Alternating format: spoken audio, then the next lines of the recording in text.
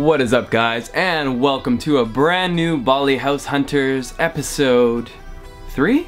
I think this is my third time doing this. A bit of a short rundown. I am currently on the move into Bali and with that being said, I'm trying to find a villa that I will call my home base for the next year. So it needs to be perfect. It can't be the kind of place that you find out a week into renting that your Wi-Fi doesn't work or that your landlord's crazy or that you live next to a grass field that's basically a home base for mosquitoes. Not only is it financially an investment, but it's also an emotional investment. And with that being said, I am definitely taking taking my time to make sure that I pick the right place. I wanted to show you the process of finding my place and maybe at the end of this video you'll find out if I actually found it. Hmm. Now a couple comments up front before you guys start bashing me being like this guy is so ungrateful or something like that. I want to mention that in this video I am poker faced. I am keeping it as straight as possible because I'm either looking at these properties with a landlord who actually owns the property or I'm looking with a real estate agent. When you show your hand and you say, oh my gosh, this is the place, there's probably not gonna be any budging on the price. So that is why sometimes I may come across as a little bit cold, a little bit unexcited, because I'm trying to keep myself the best opportunity to negotiate after leaving the property. All the properties that you'll see here will be listed in the Indonesian rupiah currency, which is about a conversion that will look sort of like this. I'm gonna be fully transparent with this. I typically would like to keep a bit of the budgeting side to myself, but you know, I wouldn't be able to give you proper information about the properties if I wasn't disclosing how much they costed and therefore roughly what my budget is. Now, with that being said, you know, you can find much cheaper properties in Bali. I have friends that have stayed there for $300 a month. They had a very basic, clean room with a shared pool, a nice little community to it, so you can definitely do it on the cheap. But I'm looking for some very unique things that will allow this place to not only be my home, but also to be my headquarters and to be able to have guests over when they come visit. With that being said, I'm trying to find a property that is anywhere from 180 to 250 million. yes, million. And with the 250 million, I'm gonna be needing like some form of subleasing or some permission to do so. So that's where it gets a little more complicated because as it stands, I won't even be in Bali full time. I'll constantly be traveling. So that's where it becomes a fine balance of going for the lower end of the budget, having it left empty, or if I go to the upward end of the budget, then having a way that I can keep it occupied, even if it just means having friends over where I charge them a small staying fee, as you might say. This is the place that while we do our villa hunting, we have been staying in, and this is actually just an Airbnb rental. Right now, I'm paying around 50 US dollars per day. That's a pretty incredible deal to have such a beautiful loft.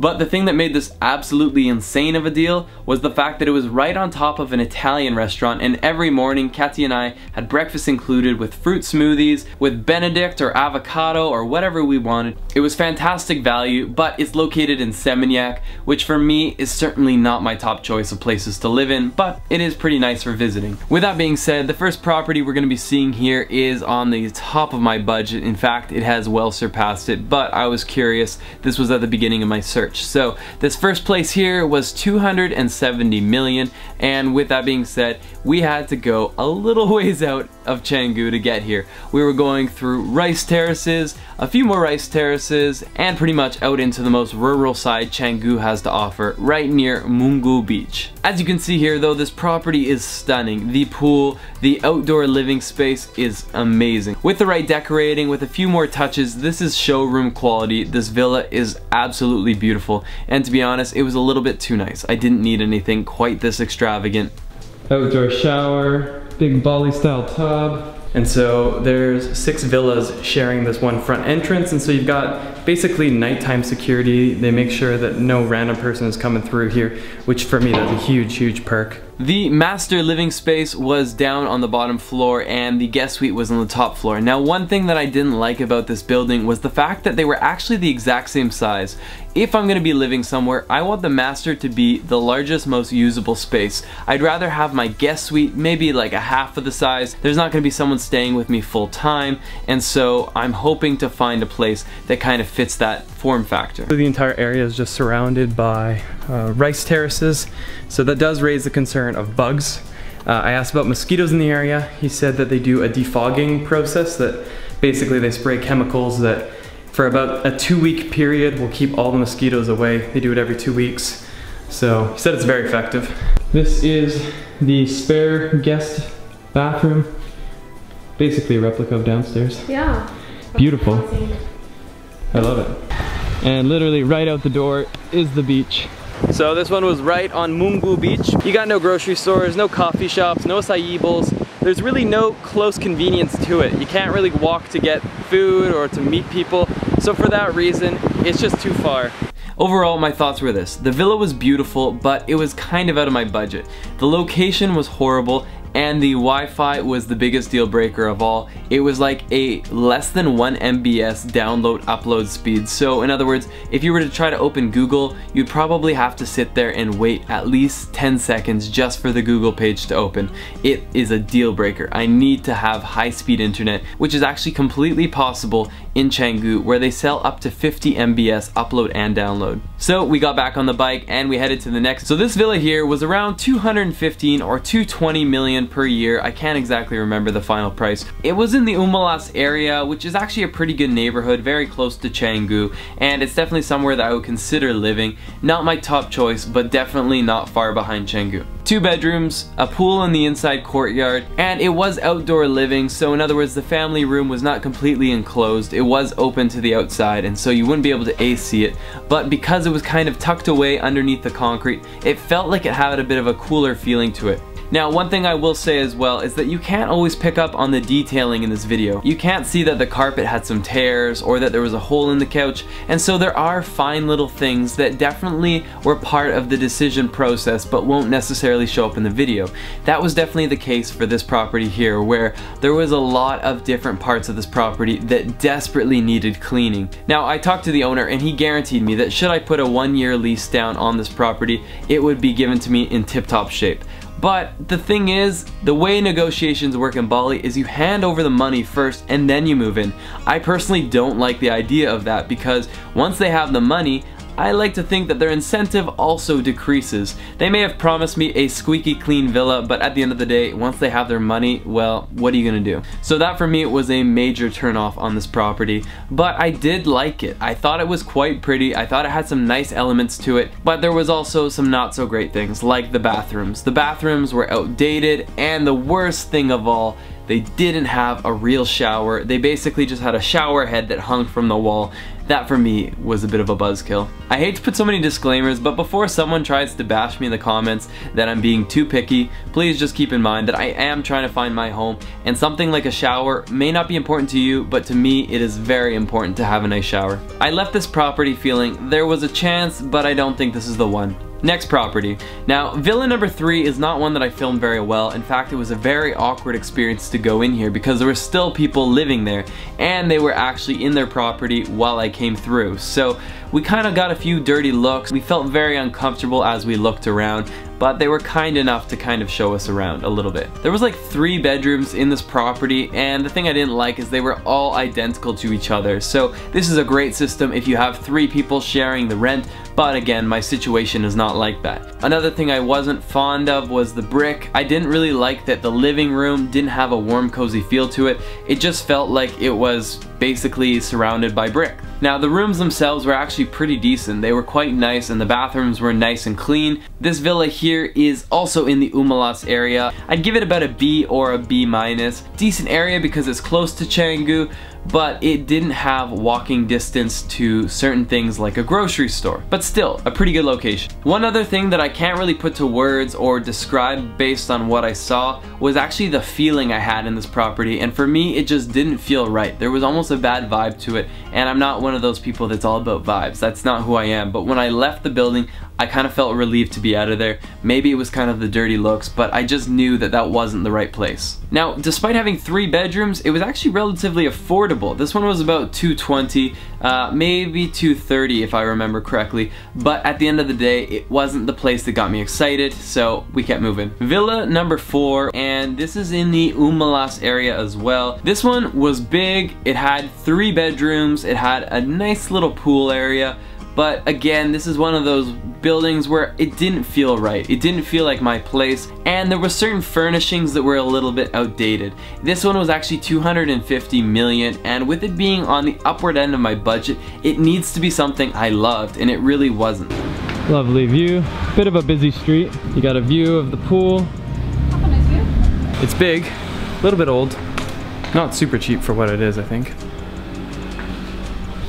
So this is second spare. Third. Yeah. The, the red coach is the second one. Very dark. So this is the master. Yes. Okay. There was things that didn't really make sense. For example, the master didn't have a shower, it was a bathtub.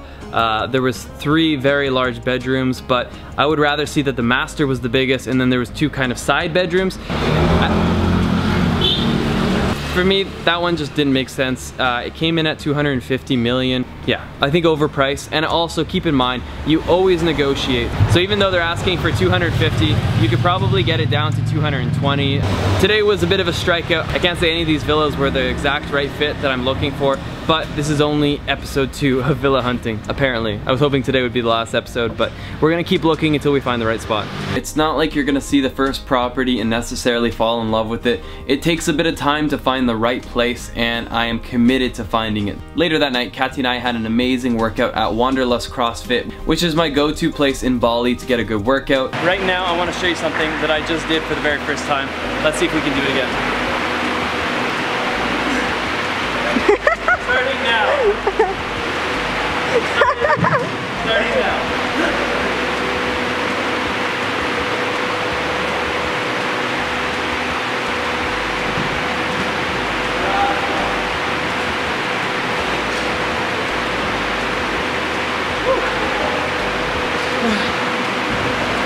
After that, we headed off to one of our favorite sushi restaurants in Canggu in the Berawa area, and that is Suksama Sushi. We got an entire platter shared for the two of us for 130,000. This was 139.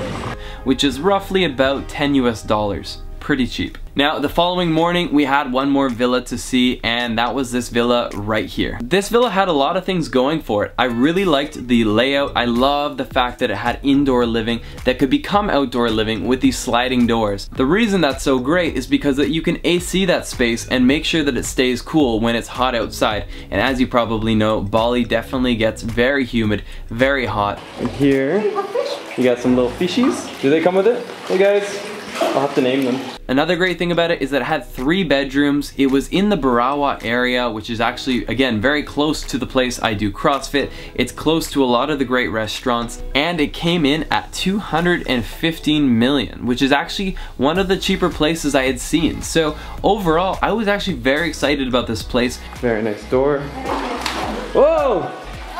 Fish attack! Fish attack! Okay, so there's a second kitchen because I cook so much. Here. Oh, it comes with a washing machine? Yeah. Okay, that's a positive. And another toilet. Man, in case your whole crew gets Bali belly, you're set. Katy, if I cook, we'll need all these bathrooms. Yeah, but it's so It is weird. Toilet. But it's nice. It's nice. That's the master, yeah. All right. I like them. Nice little guest suite here with its own bathroom. Very nice. Could use a bit of cleaning, but good. Simple, could use a mirror. Got another guest room here. Out here, you have the green terraces. That's beautiful. Though you might not have that forever. I'm sure they'll develop it at some point. New coffee table, new couch. Comes with a full-size fridge. So you can completely slide all these doors open. Now whether I got a place that was 180 million or 270 million, the actual monthly fees for maids, for pool cleaners, for all that stuff would be very similar. So I'll go ahead and show you what you can expect to spend. You have your cost. They're asking 215. 215 for the year. With that, you can do a bit of negotiation. I would assume you could probably get them down to at least 200, mm-hmm. plus about 18 million for housekeeping. The maid comes in three days a week, and that is gonna cost you about 18 million for the year Yeah. about six million for pool, six million a year for pool cleaning, and that includes chemicals, the guy that comes in and takes care of everything. Maybe he feeds the fish, I don't really know. Yeah. And how much for internet? 600 per month. For internet, you're paying around 600,000 per month for high-speed internet. I'm assuming that's the 25 megabytes per second upload and download. Another 7 million roughly. 7.5. 700. Okay. And then it's pretty standard that you give about one month worth of rent for deposits. So that's money you get back, but definitely a relevant cost because you need to have that money up front. The thing with renting in Bali is you don't pay month by month. You typically will pay all up front. Maybe you could negotiate paying the first six months or something along those lines, but I don't think that's very typical. There's also something known as a banjar fee, and basically it's like a community fee is my understanding. Kind of like you're paying someone to overwatch your house and take care of you. I don't fully understand it, but it's not that big of an expense. You're looking at like $15 a month, so $150 over a year. Not a huge investment, but it does make you ask, what is that money going towards? It's pretty incredible because when I was living downtown Vancouver, doing my accounting job, making just barely enough to get by, I was renting a place that was basically taking all of my disposable income. It was going straight into my rent, and I was paying close to what I'd be paying for one of these places. I had one bedroom, I had a kitchen, and mind you, it wasn't a nice neighborhood and it was a pretty clean, nice place, but it was nothing extravagant, nothing special. It was bare basics for Vancouver living. And to think that you take that money, you bring it here to Bali, if you can earn your income online, that right there is one of the main advantages of being in Southeast Asia.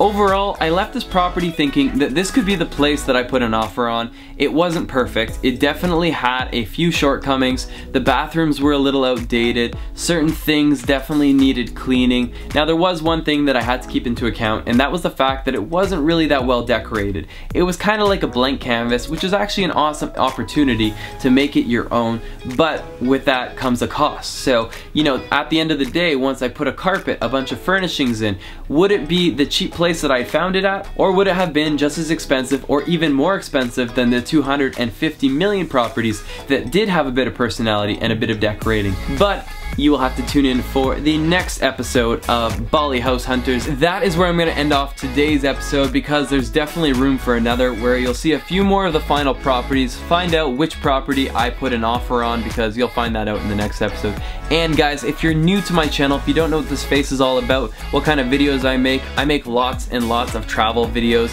about Bali, about Southeast Asia. If you want to see high quality cinematic travel vlogs or more real estate videos just like this, make sure to hit the subscribe subscribe button down below there or on this bubble right here. And if you want to see my previous Bali house hunting video, click on the video right up here and you get to see some of the properties I visited about eight months ago. Now, they're probably not in the market anymore, but they're pretty cool and it gives you a bit more of a feel of the costs and all of that jazz. So guys, hope you join the channel and let's get lost again in the next one.